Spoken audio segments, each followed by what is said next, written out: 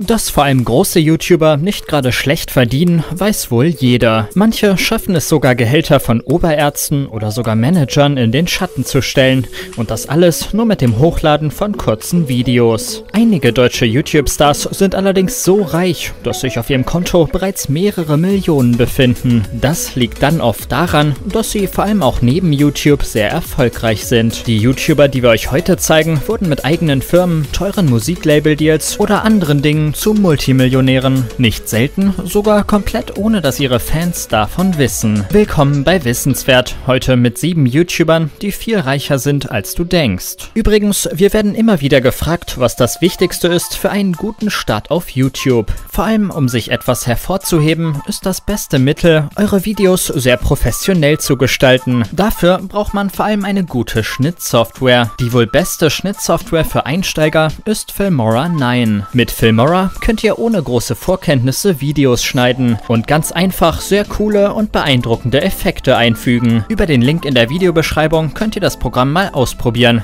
Aber zurück zu unserem Video. Beginnen wir mit dem YouTuber Aaron Troschke. Auf seinem YouTube-Kanal Hey Aaron präsentiert der Berliner seinen 1 Million Abonnenten alle möglichen Videos. Vor allem seine Messebesuche oder Idiotentests zählen dabei zu den erfolgreichsten Formaten. Die meisten kennen Aaron durch YouTube. Doch was nicht jeder weiß, Aaron Troschke verdiente bereits auf vielen unterschiedlichen Weisen Geld. Und das auch nicht gerade wenig. Sein YouTube-Kanal ist nämlich eigentlich nur ein Nebenjob. Aaron hatte nämlich immer wieder eigene Unternehmen. Aarons erstes eigenes Unternehmen war ein Kiosk in Berlin, den er selber betrieb. Später kam er dann ins Fernsehen, genauer gesagt zu Wer wird Millionär, wo er 125.000 Euro erspielen konnte. Auch bei Big Brother war er siegreich und gewann insgesamt insgesamt 100.000 Euro. Was Aaron allerdings erst richtig reich machte, war eine clevere Geschäftsidee, die er 2014 mit zwei Mitgründern umsetzte. Die drei Berliner entwickelten eine Plattform, auf der Firmen Werbeanzeigen platzieren, für die sich Influencer dann anbieten können. Bereits vor zwei Jahren erzielten die drei damit schon einen Umsatz von über einer Million Euro. 2019 soll das verfünffacht werden. Am Anfang dieses Jahres erhielt die Plattform ein Verkaufsangebot in Höhe von einem mittleren siebenstelligen Betrag.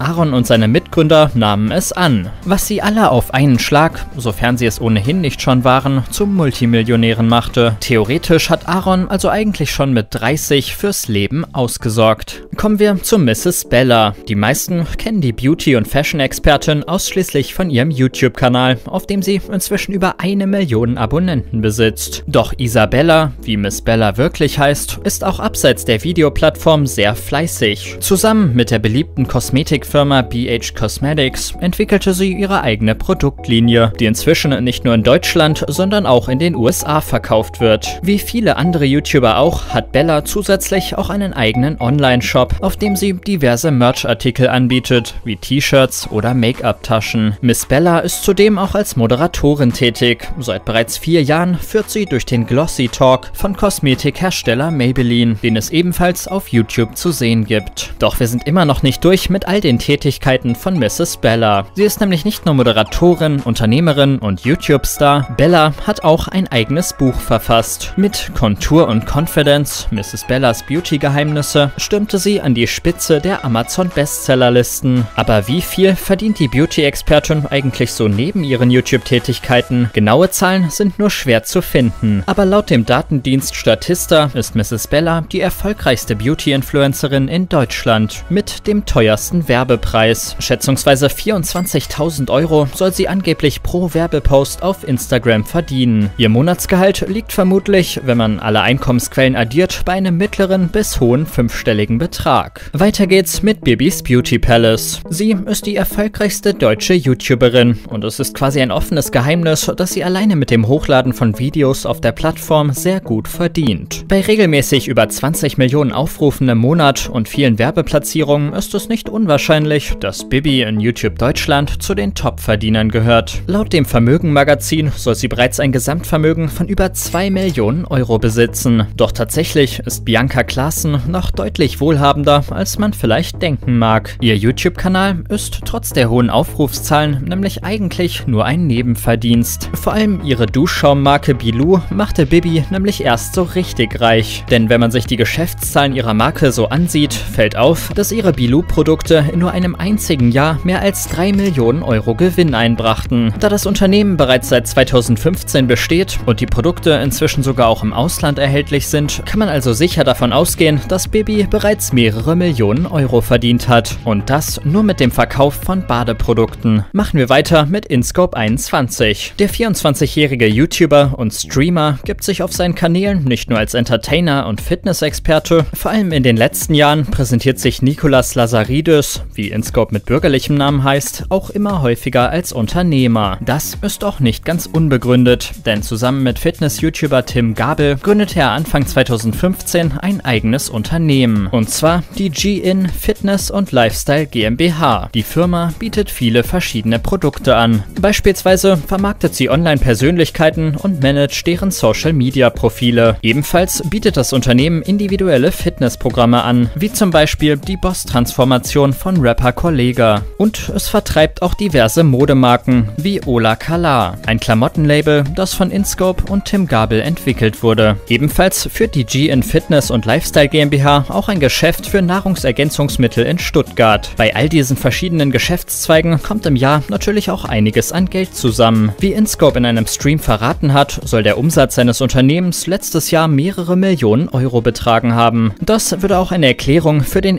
extravaganten Lebensstil von Nico liefern, den er in seinen Videos häufig präsentiert hat. Inzwischen tritt der YouTuber nach eigener Aussage allerdings wieder etwas kürzer. Er lässt sich von seiner Firma nur noch ein verhältnismäßig kleines Gehalt auszahlen und will die Unternehmensgewinne vor allem wieder in neue Projekte stecken. Denn wie er selbst sagt, braucht er nicht 20.000 Euro im Monat, um über die Runden zu kommen. Kommen wir als nächstes zu der YouTuberin Sallys Welt. Ihren Kanal hat Saliha Özcan schon seit 2012 und präsentiert dort ihren knapp 1,6 Millionen Abonnenten regelmäßig Videos zum Thema Kochen, Backen und zur Gartengestaltung. Bei etwa 5 Millionen Aufrufen im Monat würde Sally nur mit YouTube-Werbegeld etwa knapp 5000 Euro verdienen. Doch Sally ist auf das Werbegeld kaum angewiesen, denn die 31-Jährige hat etwas geschafft, was nur wenigen YouTubern gelingt. Sie konnte aus ihrem Kanal eine ganze Marke aufbauen. Inzwischen hat Sally nämlich nicht nur eine eigene Fernsehshow auf Vox, sie hat auch einen eigenen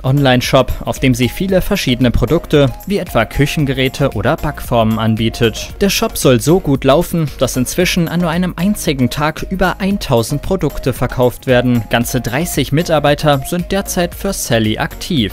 Und die junge YouTuberin hat sehr große Wachstumspläne. Für ihr neues Küchenstudio und Firmengebäude investierte sie bereits 6 Millionen Euro. Und ihre Shops und Webseiten hat sie inzwischen zu einer eigenen Online-Plattform ausgebaut, mit 1,6 Millionen Besuchern jeden Monat. Sally ist heutzutage also mehr als nur eine YouTuberin. Sie ist Unternehmerin mit eigener Marke und heute vermutlich bereits Multimillionärin. Machen wir weiter mit Fresh Torge. Der Norddeutsche ist quasi ein YouTube-Urgestein. Seit 2009 ist er inzwischen auf der Plattform unterwegs und sein Kanal Fresh-Haltefolie zählt derzeit unglaubliche 3 Millionen Abonnenten. Vor allem die Videos, in denen Torge in bestimmte Rollen schlüpft und Assi-TV-Sendungen wie Frauentausch oder Familien im Brennpunkt parodiert, erfreuen sich schon seit Jahren extremer Beliebtheit. Torge ist den meisten vor allem als genialer Comedian bekannt, der es schafft, auch mit wenigen Mitteln gut zu unterhalten. Doch tatsächlich ist Torge auch unternehmerisch aktiv. Anders als viele YouTuber in dieser Liste hat er allerdings keine eigene Firma aufgebaut, sondern verfolgte eine ganz andere Art von Großprojekt. Und zwar seinen eigenen Kinofilm. 2015 veröffentlichte er zusammen mit der Produktionsfirma von Otto Walkes den Film Kartoffelsalat,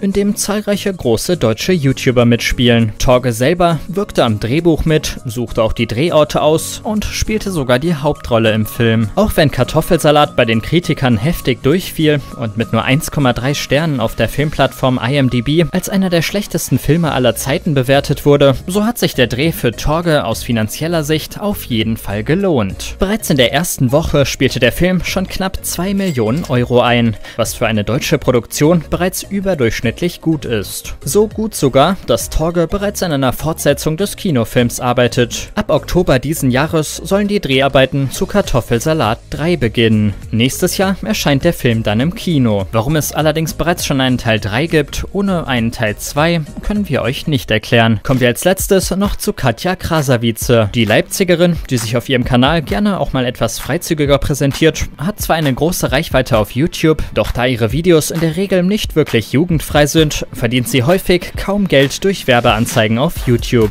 Das bedeutet allerdings nicht, dass Katja auch an sich nicht viel verdient. Ganz im Gegenteil. Sie hat heutzutage viele verschiedene Einkommensquellen, was es ihr ermöglichte, ein beachtliches Vermögen aufzubauen. Bereits seit 2017 versucht Katja vor allem mit Musik erfolgreich zu werden und hat das auch geschafft. Auch wenn sie keine perfekte Stimme hat, so schafft sie es mit Kollaborationen und Videos, in denen Leute auf sie reacten, Aufmerksamkeit für ihre Songs zu erzeugen. Ihre Musikvideos haben heutzutage viele Millionen Aufrufe und Katja tritt bereits als Showact in vielen Clubs und Diskotheken in Deutschland auf. Ihr Vermögen soll sich inzwischen auf unfassbare zweieinhalb Millionen Euro belaufen. Hättest du gedacht, dass sie so reich ist? Und was denkst du über das Vermögen der anderen YouTube-Stars aus diesem Video? Schreib es uns mal in die Kommentare. Ach und wenn du auf der Suche nach einem einfachen Schnittprogramm bist, mit dem du professionelle Videos erstellen kannst, dann check mal Filmora über den Link in unserer Videobeschreibung ab. Das war's mit Wissenswert. Wir sehen uns dann das nächste Mal. Macht's gut.